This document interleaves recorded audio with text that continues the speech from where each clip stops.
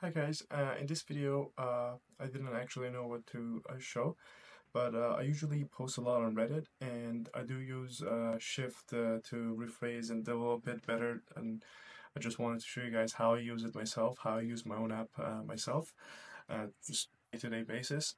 so here in the library section I have made a, this is where you, you you, you can just, it's like a hub for your prompts. If, if you have a long prompts, you can just add them here. It's just all in one place. They can be used in shortcuts. So I have a one that called that's called Reddit. It just says uh, keep developing the Reddit post and write it like a redditor. And then I, I come to shortcuts and basically choose uh, choose my model. Here is Claude here and then I put Reddit, which is the title, I choose it, and it's just going to pick the prompts from the library and use it automatically. So this way you can switch between uh, things easier, like as you can see I have other, uh, other uh, library prompts as well. And then I can give it a shortcut, in this case it's right command, right shift, as you guys can see. And then I save the changes, and I have one here, and you can see it. Uh, let's just remove this part. Uh, we don't need to keep it short save changes. As you can see, just name Reddit.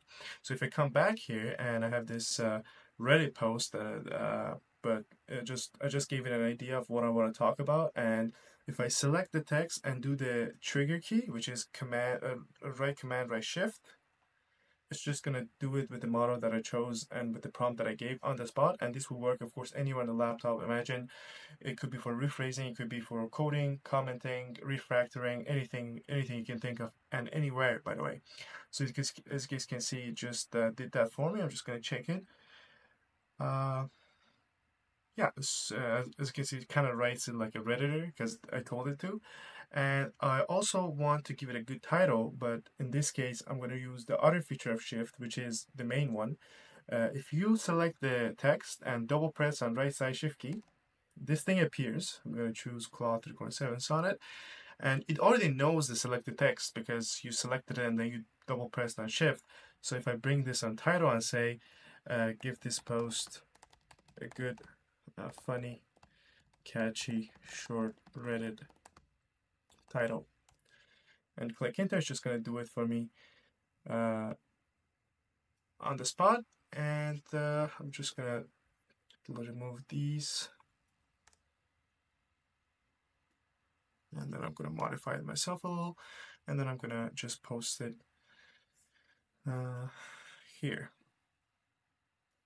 Alright anyways this is usually how I uh, I uh, I use it if I want to post something on Reddit and just want to develop it better like a Reddit and make it a make it a, a better paragraph.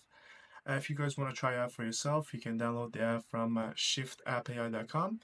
And uh, if you want to see more uh, ways to use, I use more ways to use Shift, you can just subscribe, and I show it daily. And yeah, thank you so much for your time.